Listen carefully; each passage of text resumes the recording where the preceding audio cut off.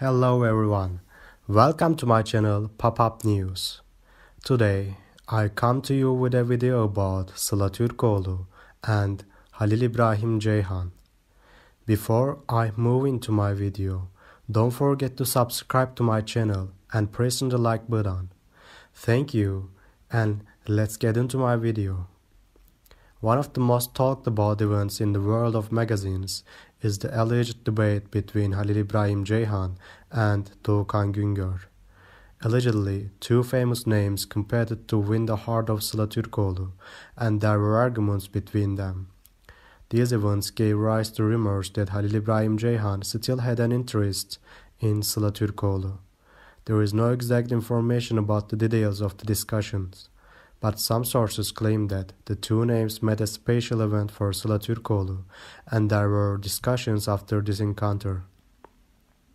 This situation is interpreted as Halil Ibrahim Ceyhan's love for Sıla Türkoğlu still continues. Sıla Türkoğlu has not yet made a statement regarding these allegations. However, it's also stated that Halil Ibrahim Ceyhan and Doğukan Güngör didn't deny the allegations.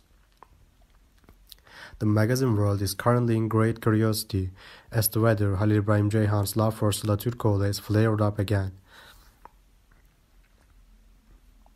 Thank you very much for watching my video. See you in the next one. Take care and goodbye.